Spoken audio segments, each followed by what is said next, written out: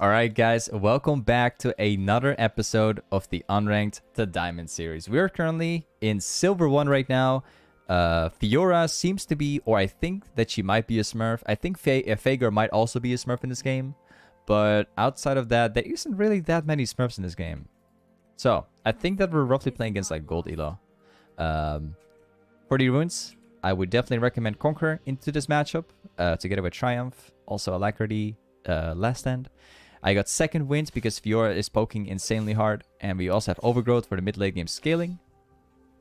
Now one more thing. Uh, we have Longsword as the starter item. This is great if you are feeling confident about the matchup. However, if you're not feeling confident, go for Doran Shield. Because he's going to poke a lot. Okay, so against Fiora, there's multiple ways to play it out, guys. Uh, specifically, this Fiora is playing with um, bone plating in the resolve tree. So we're gonna have to we're gonna have to be very careful about how we approach this guy. We're gonna be chilling out. Have the wave frozen here.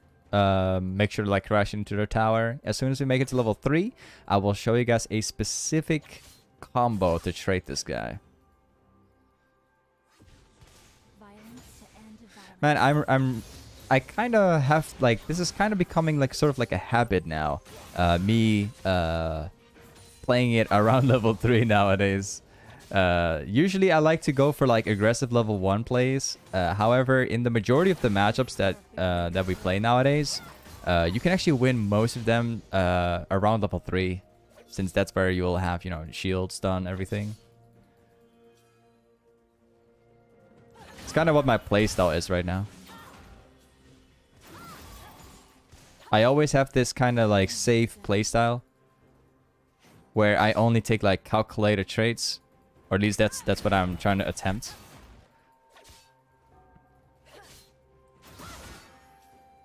Wait, we can kill him right now. Uh, Diana instead of wait what? Uh, Diana actually went to the river instead of ganking. This would have been a kill right now, actually. Huh.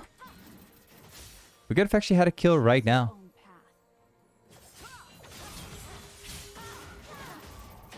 I got him. Like, Diana moved up here, and then she went to the river instead. So we basically just missed a kill for free right there. they only missed it. Wow. That's getting extremely close.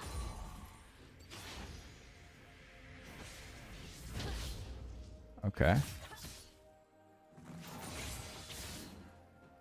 She walked in the middle of my of the center of my wave. I can kill her again right now.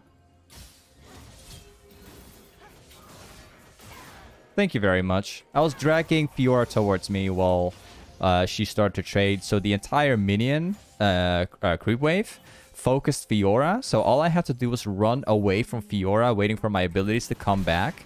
And then using all the creeps to my advantage and then get the kill instantly. That's nice.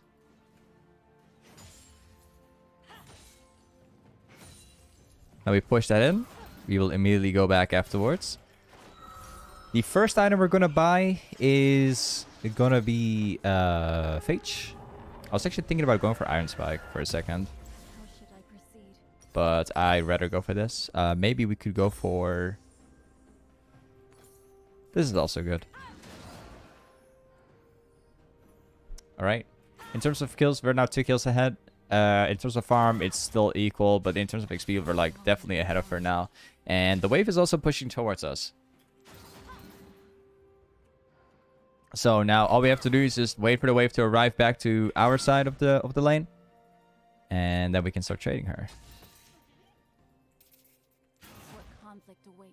Actually don't want to show my Q yet. There we go. Oh. She saw it coming. I don't know how. Maybe she just predicted. I'll do like a quick tra uh, trade. This is one of the best ways to trade a Fiora, guys. Just E in, uh, stun, auto, into, uh, and then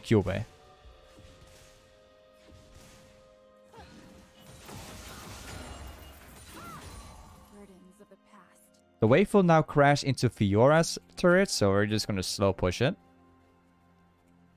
She will come back, but it just takes some time. There's nothing to take on the map right now, so she will arrive soon.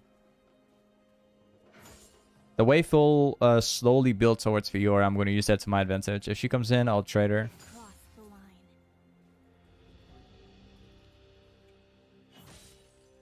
Man, honestly, this is like one of my first times like ever playing Riven uh, with uh, with this skin, but then specifically with a chroma. I've actually never played the skin with a chroma before. Uh, thanks to someone in my Twitch chat actually gave it to me. Oh, what? What? That was the most random parry I've ever seen. Because I didn't even press an ability yet. Wait, what? That was a super random Fiora parry. I'm gonna kill it right now.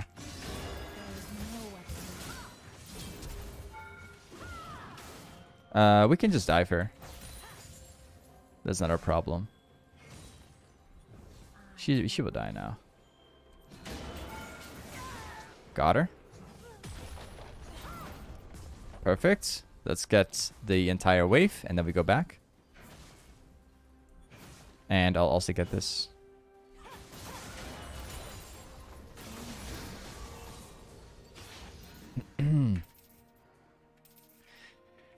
Okay, let's get Goredrinker.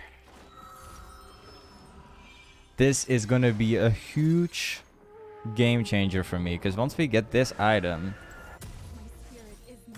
everything will change. We can now trade Fiora. We can heal back and every single time. We can go for like short trades against her. Every single time. Whether we go in or out, we can proc her bone plate using Goredrinker as well uh, by pulling like an E with Goredrinker, like this. So let's see. The matchup is definitely one for me now. When you play against Fiora, guys, it's it's it's all about like playing smart. Uh, because believe it or not, Fiora matchup is actually favored for Fiora right now. She's got she's actually pretty strong at the moment. But um, if you play really really smart, uh, it becomes like a more of like a skill matchup. Didn't get the bone plate, but we could try again in just a second.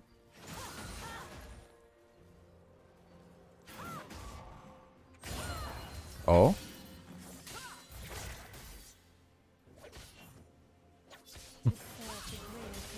oh, I failed it.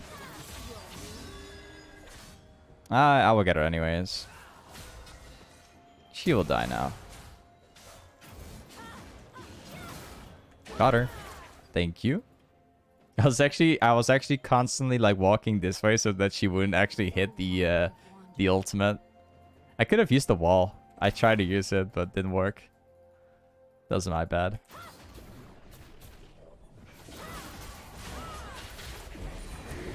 Okay, we got the turret now. Nice. Uh, we can get the next turret as well, actually.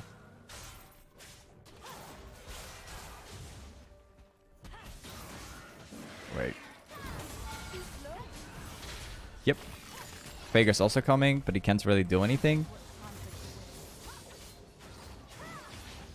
Hmm. I, oh, that's actually Master Yi here as well. We could maybe try to get a kill on him. Wait, hold on a second. Yeah.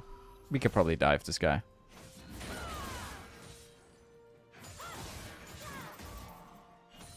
Got my ultimate in like 20 seconds. Veigar and Master Yi are mid lane.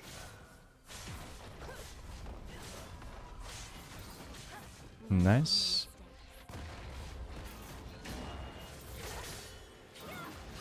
I actually want this guy to parry.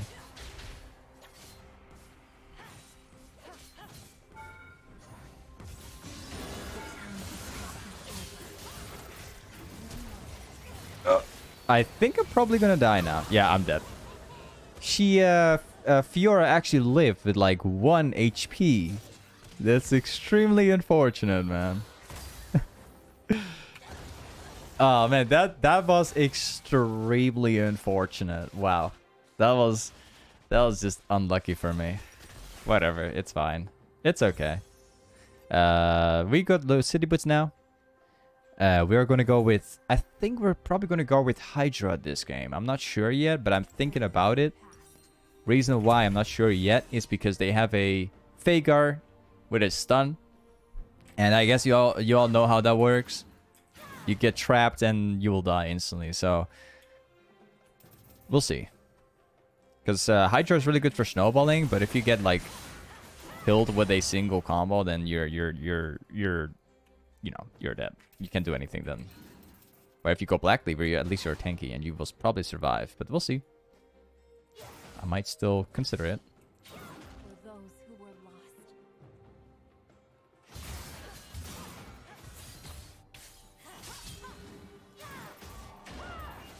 Got her. Thank you. Now we continue pushing. Nice. Push up the next wave right now.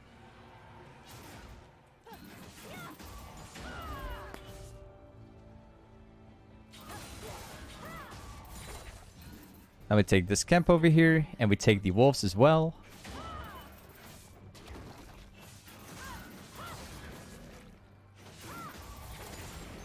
Take this.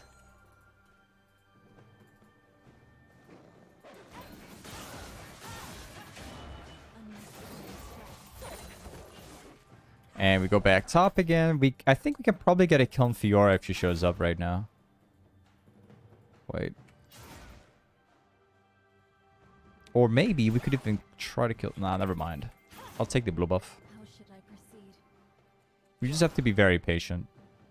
Actually, Fiora's bot lane. I didn't see. I'm blind. Okay. For some reason, I didn't see it.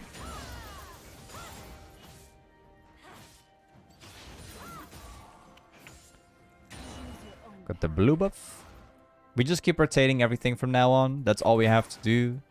Uh, it's people always don't understand how the mid-late game is being played out as Riven. I see like a lot of people having questions of how mid-late game is being played out, but it's actually so simple, guys. I know, I know, it's ridiculous what I'm saying because it's actually way harder, but um, than what it, you know, is. But um, usually, mid late game is literally just splitting, just farming, getting catches on the side lanes, farming jungle camps, and that's it. Like it's, I know it sounds ridiculous, but that's pretty much how the mid game is being played out. And if you have TP up or you see like a nice uh, flank in mid, you can just flank, get a nice play off. Usually these are like the kind of things you want to be looking out for. Uh, you just constantly want to like uh, apply pressure in the game in some kind of way and uh, force really good fights.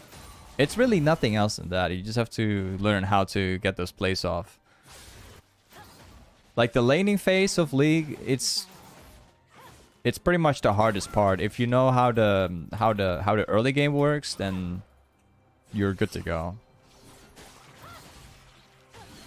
No.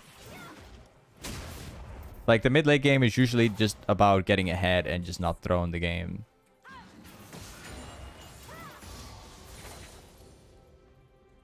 Let's get some more jungle camps. I think Master Yi is probably going to take this one.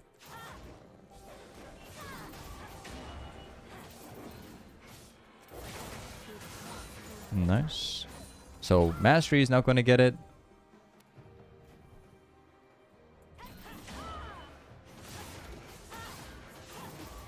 Nice. Jinx is currently on bot lane. I think I could probably kill this guy instantly. Wait. He's gonna come close, I think. I could instantly kill this Veigar if he comes close to me. But we don't necessarily have to kill him. We're to go back now. Uh, I actually want to buy the Hydra right now. We're like 10 gold away from it. I think afterwards I'll just go back top again. Maybe we could path mid and see what's going to happen. We have TP up as well, so we can make a really huge play. I'm actually thinking about TPing. Wait. I'm going to dive these guys. We will dive them. They're really low.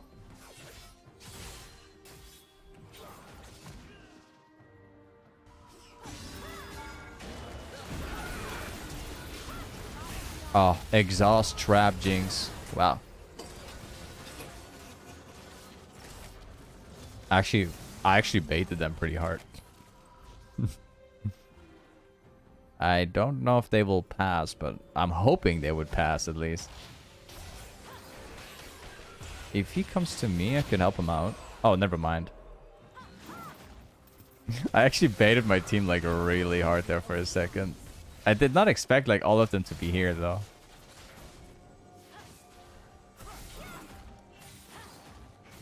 Got the wards.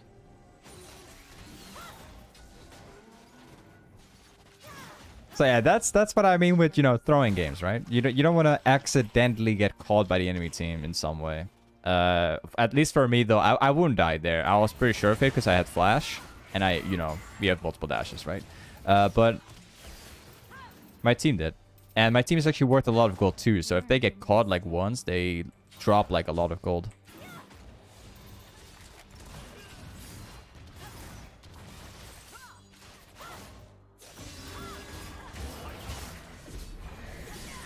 Nice. Oh, I, uh, I want to get this camp actually. I'll be farming it out.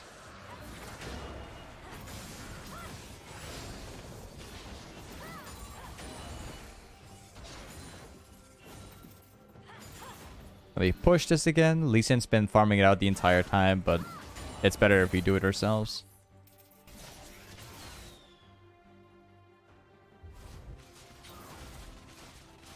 If she comes closer, I could actually kill her.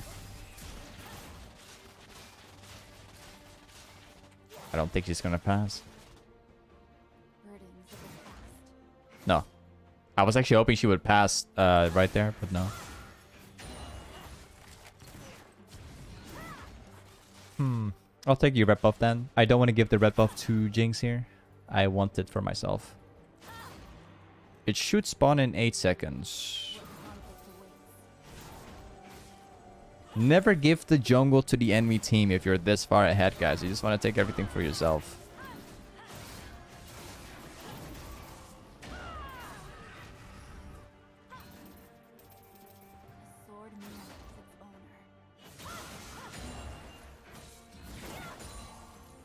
Push it out.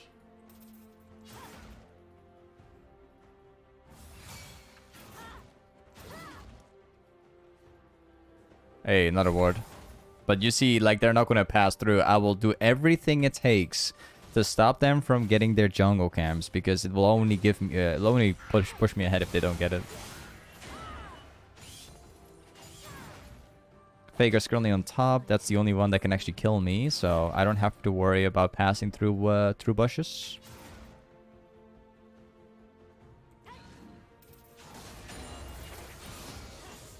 Now we push. Three people are top side. We can take the uh, at least half the tower with this.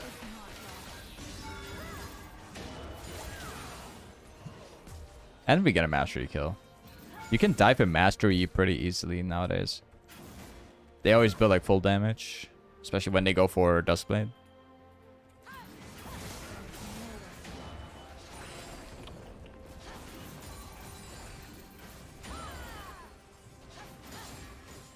Now we go back bot again, take the next wave. We got 2.1k gold.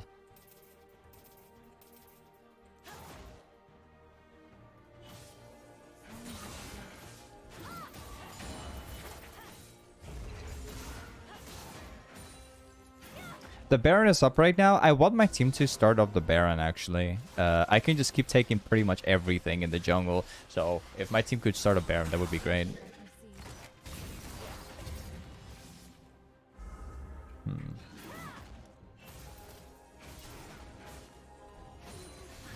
Next wave will arrive right now.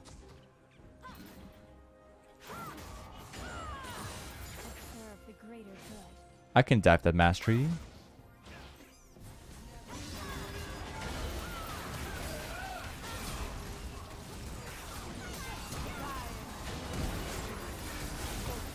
Woof, close.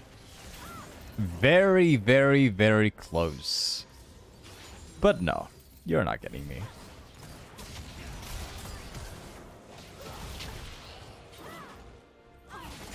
Nicely. Lee's doing a great job, actually. Uh, Master Yi is gonna spawn up in like 5 seconds.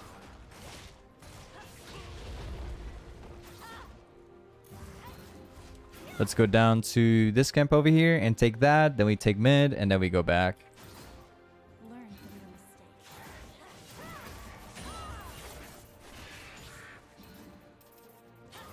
Three point seven K gold right now.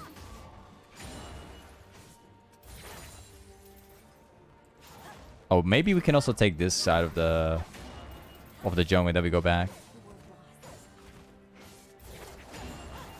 You see in farm, where we have more than 10 CS per minute. You know, people people, especially like low low to mid elo, you can get 10 CS per minute super easily, man. You you can get it really easy. If you snowball lane and you win really hard, it is only a matter of doing what I am doing in this game and getting like 10 CS per minute, especially if you go for for Goredrinker and Hydra, it's it's really easy to do.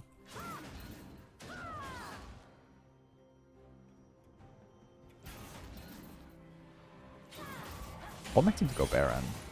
It's taking them a really long time.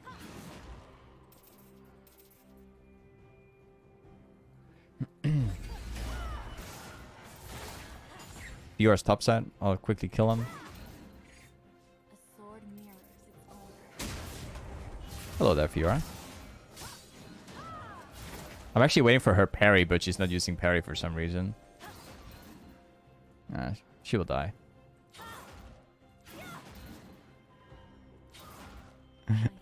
Let's see how long this is gonna last for. Ah, not that long. I got him. Let's go. Massive fight starting out here. They really need my help though.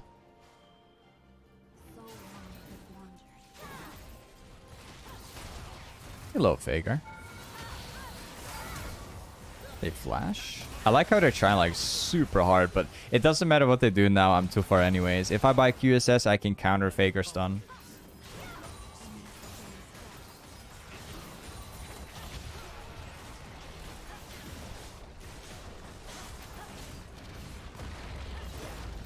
Nice.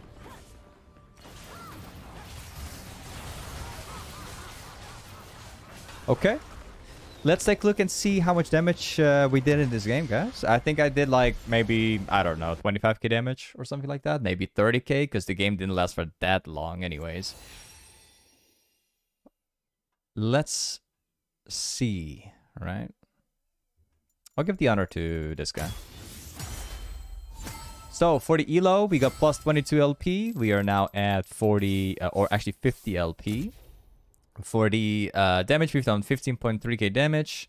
And for the runes, this is the runes that we've been using in the game, guys. Um, either way, uh, this game was being played live, guys. If you want to see me play live on stream, uh, don't forget to check out the link inside the description below the video. Uh, streaming pretty much every single day. But thank you for watching today's YouTube video. I'll see you guys next time. Peace.